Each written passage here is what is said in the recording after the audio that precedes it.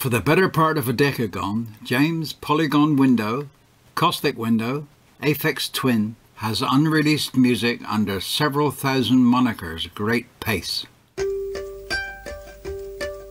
In 2014, a press release appeared in my inbox. It announced the return of a musician who had helped define the electronic sound of the 1990s, but then all but vanished from view for 13 years. It was exciting because it heralded the return of Richard D. James, also known as Aphex Twin. At Nicarana Cornwallow, England grows, James as a young Maniton and started DJing. The email is a little glimpse into the mind of one of popular music's most important electronic producers. Selected flamboyant works, moving to London. The language used, a mixture of nonsense speak and Cornish dialect reveals an artist who is drawn to a very personal kind of storytelling. And so begins the myth of Aphex Twin. Well, one of the best ways to become an object of obsession is to have some sense of mystery. And there was definitely a lot of mystery about him. I heard he has got a tank. Yeah. He created these stories. I've heard he has a submarine. From the story of making these fragile instruments when I first spoke to him in 92. You know, legendary things he was supposed to have done. He bought a bank. All of that created a kind of mystery. Very quickly, it becomes difficult to distinguish the way you're perceiving the music to the way you think about him as a person. And if there's mystery there, it really, really appeals to a certain kind of fan. They begin to think that someone is speaking to them exclusively. It's a very powerful thing. I love Aphex. I love Aphex Twin. I love you, Richard. It's Aphex Twin, Richard D. James. Just how much really good music has he made that he's just not telling anyone about? Okay, so let's put this in.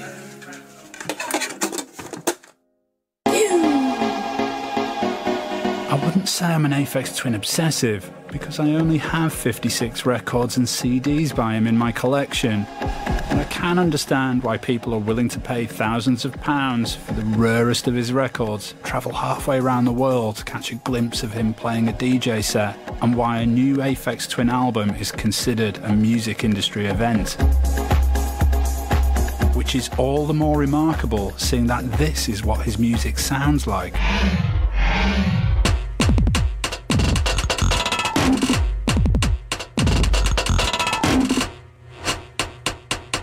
I've been a writer for 22 years and I've interviewed most of the living musicians that I really want to meet, but I've never managed to talk to Richard D. James.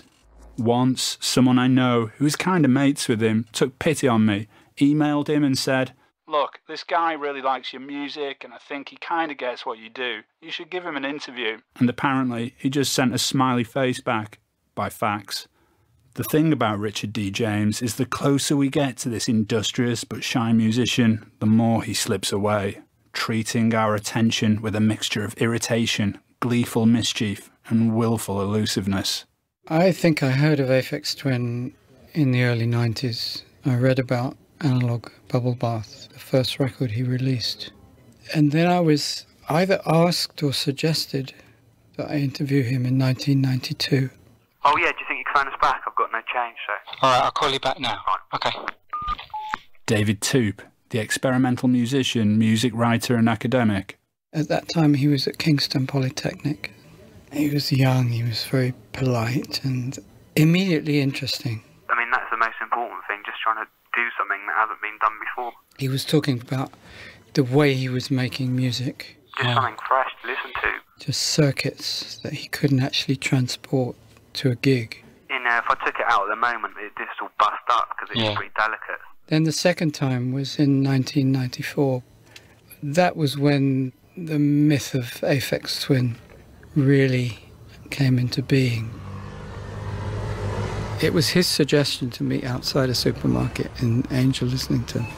And I was very happy with that because, you know, I was pretty bored with the normal press office type interview. And he said, you know, we'll go and do some shopping and talk. And then he didn't show up. So I was standing there in the rain for half an hour and I was irritated, yes, of course, I was irritated. Probably had a bruised ego. But then there was half of me also that really admired that. Why do everything by the book? In a way, it was the first sign of a new anonymity.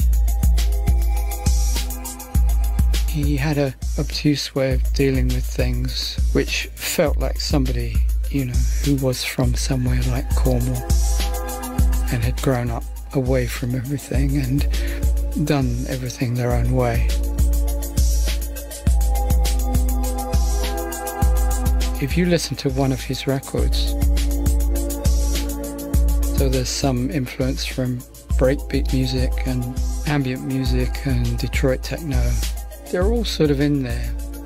He caught something of the idealism of that moment. Yeah, there was something new going on.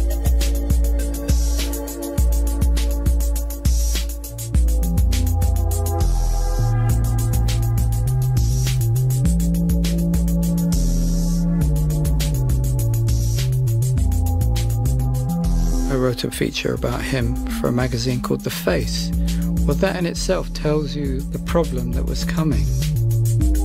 These people, the, what he called the bedroom bores, they couldn't even stand to work with a recording engineer, let alone glossy photographs made of themselves.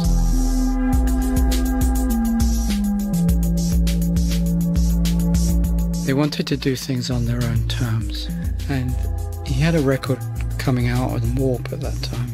And I imagine that they said to him, Look, you've got to do this. So a couple of days later, he dutifully showed up. Yeah, like I was always making noises, and, and I didn't sort of know what I was doing until my parents got a piano just full of woodworm, and it sounded really weird. Just remember the first day I got it, just banged up and down it for about 10 minutes. It started taking it apart around the back. I just ended up facing the keys to the wall. From that point onwards, they never bothered saying anything about anything ever again, I don't think. I had that for years and I used to love playing with the strings and stuff on it. Have different objects wedged under each string and had weird scales. I don't think I ever had a normal scale. And then we talked about some of the things that have really become part of what he's famous for. It's just like I've been able to do it since I was little and it's my most precious thing. He talked at length about lucid dreaming. I've done everything that you can do, talking and shagging, and I often throw myself off cliffs and uh, skyscrapers and zoom off right at the last minute. It's quite good fun. But then, about a year and a half ago, I just thought I badly want to dream tracks. Like imagine I'm in the studio, write a track in my sleep, wake up and then write it in real world. I mean, maybe he was telling the absolute gospel truth, but I, I'm really not sure about that. I tend to be pretty skeptical. That's the most powerful thing of all when you feel you really know somebody, but there's an unknowability about him. We are the music makers, and we are the dreamers of dreams.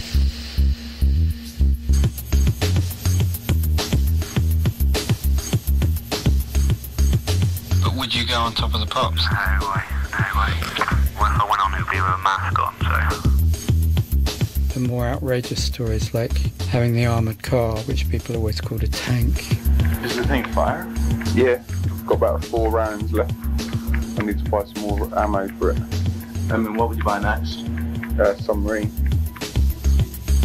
The mythology that grew up around him was a distancing device.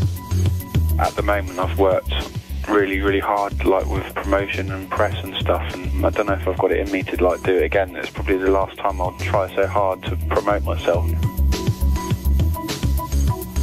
Well, the story is, I'd been seeing a Cornish girl, and she'd known Richard from Cornwall. She says, "Oh, you should meet my friend. He makes that music you like." Aphex Twin's logo is one of the most instantly recognisable pieces of graphic design of the early 90s. This is balanced out by the fact that very few people can actually agree on what it is. A saw? A boomerang? Part of the Albanian alphabet? There seems to be multiple versions of what it might mean. None of them are true. Up until a few days ago, I would have sworn blind it was supposed to represent Richard hard at work over record decks. Until I met the man who designed it, that is. But it was just a letter A, an abstracted letter A. Paul Nicholson met Richard at Kingston University in West London. They shared a flat in Hackney, and Paul went on to be his official dancer with a stint that included his first live performance in the legendary Tresor Club in Berlin. I was that type that as soon as I walked through the door, I was on the dance floor and I would be there until the lights went up. And at the time, Richard's music wasn't accessible from a dancing point of view. His live sets were about 180 BPM. You were dancing on the beat, not on the half beat. You were, you were dancing like a maniac. Pretty much, yeah. So a lot of the time when Richard played, the dance floor would kind of stop and people would just look.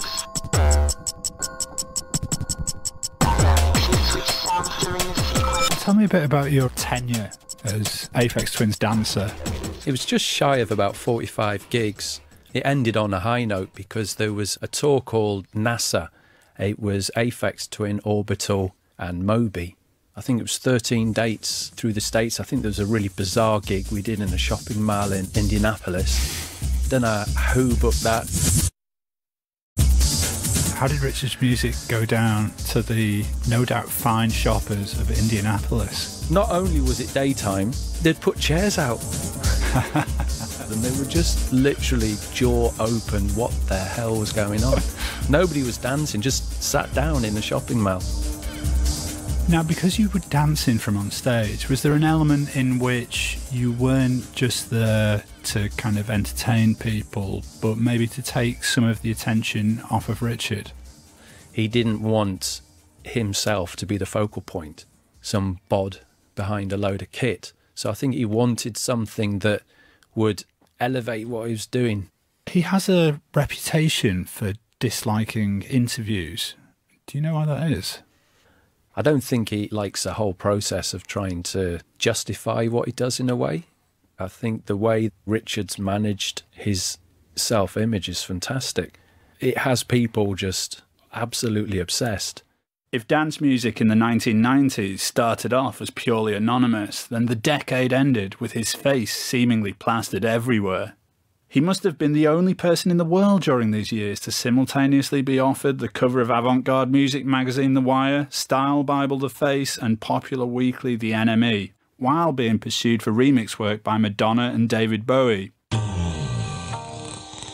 His rise from a Cornish bedroom bore to national anti hero was completed in 1999 with the release of Window Licker, a track initially overshadowed by its outrageous Chris Cunningham directed gangster rap parody video.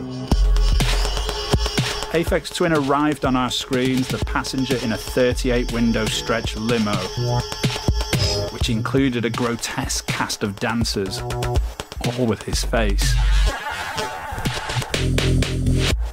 His entire appeal was dual, though. He was a magnet as much to music fans who loved to obsess over the banks of technical kit he was using as those who simply wanted to get lost in the beautiful alien melodies he was creating. The sense of humour on display here was defiantly unmetropolitan. It was sarcastic, unreliable, impish, and heavily surreal even as he danced off our screens with a smirk at the end of the decade, having created one of its defining statements, we were left all wondering is this guy for real? That's smart, that's clever, that's interesting, that's provocative. The musician Tom Middleton met Richard James when he was a teenager in Cornwall. We bonded on that intellectual level. The jump off point was humour, and we'd watch hours of the Reeves and Mortimer show That appealed to him, appealed to me. Reeves and Mortimer, abstract humour is the starting point for where he went. You've got to have some mystery. Years and years ago, I was talking to Joe Strummer, and he said, I've found the new punk rock. It's the future of music. Well, he said it was called Jungle. I'd been listening to Aphex Twin, and I said, Well, have a listen to this. He said, That's better. Comedian Vic Reeves. With music nowadays, there is no mystery because everyone, it seems, wants to be very popular very quickly. Like that artistic mystery which he had is, I think, really important. I was a huge fan of Eno in the 70s. I think when Eno started to wane, he took over. You know, you have to create a character to hide behind. I know I have. Aphex Twin remains to this day, in terms of consistency, my favourite DJ. And in my head, it mirrors that old Cecil B. DeMille quote about making a film begin with an earthquake and work up to a climax. The first time I ever saw him DJing, the set was approaching the climax, and I made eye contact with some bloke dancing near me, and we were both laughing because of how crazy it was getting. But then, right in front of us, Richard D. James walked past, laughing his head off. I could tell the other bloke was really freaked out, and to be honest, I was freaked out as well. Like, if that was really him, he was actually on stage behind the decks. And to this day, I can't work out if it actually was him or not, or if Aphex Twin makes a point of hiring lookalikes to patrol the audience while he's DJing in order to freak ravers out. But the best thing about this story to me is that I'm still sat here two decades later or whatever, trying to work out if this actually happened or not. But inspiring this kind of madness when he DJs or plays live is Aphex Twin's bread and butter. Just ask Robin Rimbaud, an electronic musician who performs under the name of Scanner. I went to this event called Disobey at a place called The Garage in London, in Highbury and Islington. You went because you knew what you were going to hear was going to be quite extraordinary, and you never quite knew what to expect. I was nervous about getting caught recording at gigs, so I carved out the middle of a big history book and I put my cassette recorder in the middle of it. Amongst those was this horrendous recording of Aphex Twin playing Sandpaper and Blender.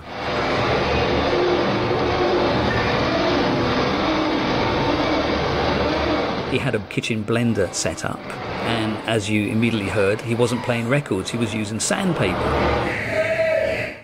People were just laughing because it was the kind of absurd thing you would hope that someone like him would do and get away with.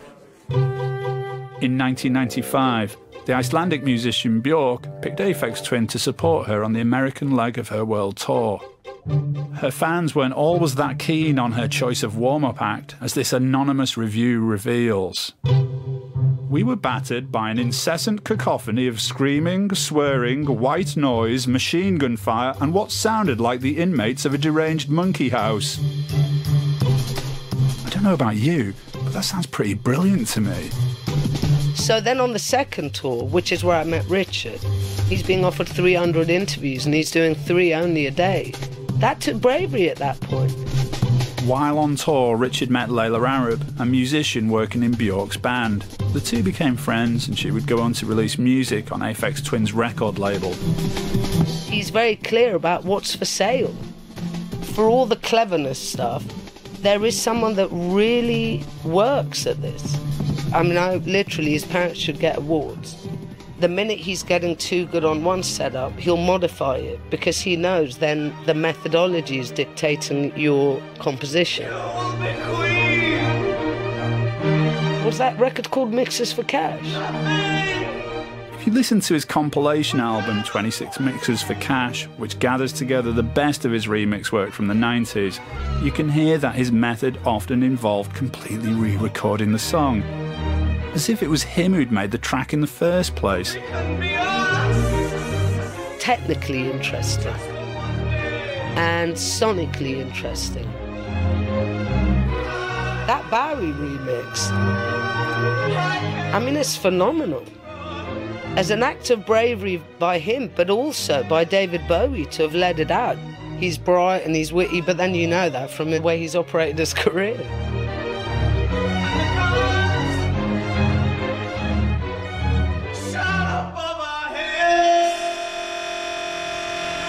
This is an important thing to remember.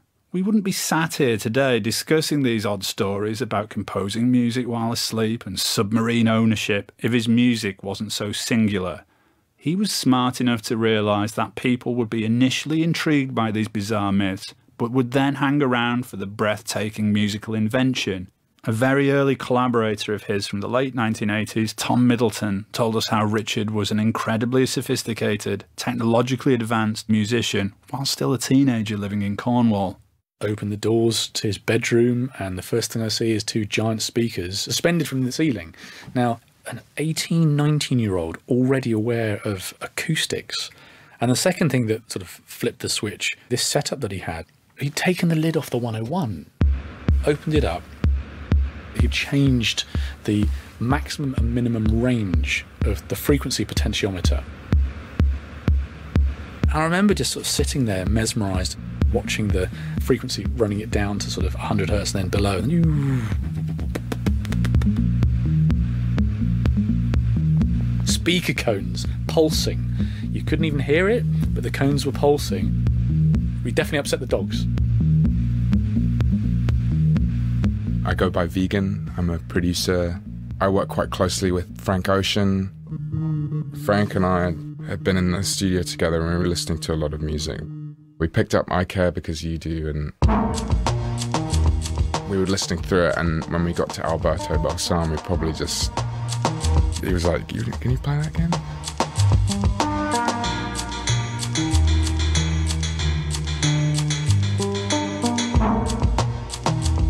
main thing that you can look at for his successes is just that most of his songs are totally instrumental. Some of them have his own voice in it, but there's no like lyrics. Certain songs that resonate with different people. For me personally, I love all the melodic stuff. I think that's the most interesting iteration of him. Funnily enough, I was talking to a friend about this the other day on like Flim. I can't think of any other song where the drum fills are the hooks. every time one of them comes in, I'm always singing along to it. His approach to melody is just something else. It's just that weird, atonal, but beautiful grey area where it shouldn't work, but it still does. In place of interviews, what Richard D. James has given his fans is a mythology and a strong visual presence. I love Aphex. I love Aphex Twin. I love you, Richard. So I only have one tattoo.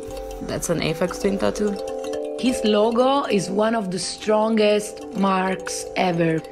Also because I have it tattooed on my arm. I think he's the most important electronic music producer of our time. For me, I have like a mark in my heart with his atmospheres as I listen to his music almost every day.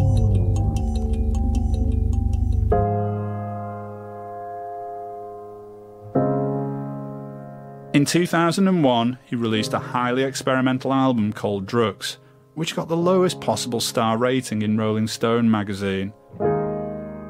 It was hated by some fans so much that the urban myth sprang up that Richard James himself had purposefully released a turkey of an album to get out of his record contract. Then suddenly, Aphex Twin disappeared from view, and it seemed as if his madcap career of innovation, mayhem, and mischief had come to an end. There was talk he had retired, that he'd moved to the country, and that releasing music had become a chore. He wasn't so sure that the public even cared about him anymore. Then in 2014, as a lime green blimp was raised over London displaying the Aphex Twin logo, an Irish boy received an email from Richard's record label, Warp. It's Ryan Wyer, Aphex Twin fan. I'm Aidan, Ryan's father. I'm Marie, his mum. Warp had tried to contact Ryan. Remember you thought you were going to be in trouble? You No. We're working on something, he said. Aphex Twin is planning to bring out a new EP, and we'd love Ryan to do a video for one of the tracks. So that's what happened. He had discovered the joys of Aphex Twin's music online. Ryan, who is autistic and visually impaired, set about making videos of himself and his friends dancing to the Aphex Twins music in the street. We won't know when he's recording, so he records everything. as well as recording his own music from objects he found around the home. That was his daily thing, that's what he'd done. He'd mentioned Aphex Twin, we didn't know who Aphex Twin was. He's an Irish DJ, born in Limerick. It was the 23rd of November, 1968. The first album selected Ambient Works 85 to 92 came out on my birthday, 1994. We have come to expect bizarre marketing exercises from Aphex Twin, but this was his first official music video in 17 years. To hand the reins over to a 12 year old was brave, unexpected, and brilliant. Just really proud of him, and he's really unique. When I get older, I want to be a director and a musician. Secretly, he likes pop music, do eh? you? No. I think you do. I don't. Do you like you too? Yeah, I like you too, but I don't like Bono. Of course, the period of absence wasn't a complete drought. He released a clutch of records under different guises. If I was going to fax him right now, I'd probably say something along these lines. While a lot of time has been spent talking about how groundbreaking your music has been over the years, perhaps less thought has been devoted to discussing how you're also a conduit to the pre Christian culture of the Cornish past.